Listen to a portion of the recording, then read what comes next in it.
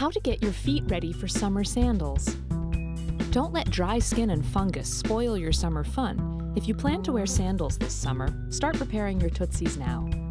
You will need an inspection, toe curls, a pumice stone, moisturizer, a foot massage, foot treatments, moleskin or blister pads, acrylic socks, antiperspirant, insoles, and laser hair removal.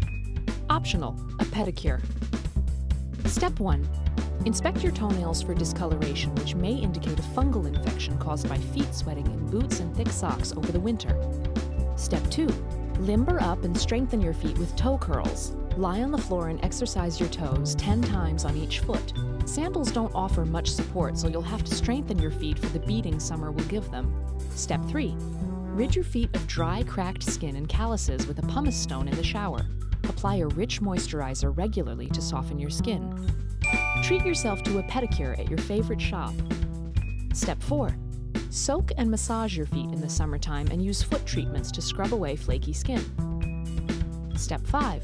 Use over the counter moleskin or blister pads to fix any unsightly skin problems before putting on sandals for the summer. After walking or hiking, baby your feet in lukewarm water and elevate them. Step 6. Wear dry, clean acrylic socks to wick moisture away. Change your socks once a day and use antiperspirant on your feet. Consider wearing insoles, which can keep your feet smelling good. Step 7. Remove unwanted toe hair with an FDA approved laser hair removal to eliminate any self consciousness about your feet. Put on your summer sandals and confidently go for a stroll. Did you know?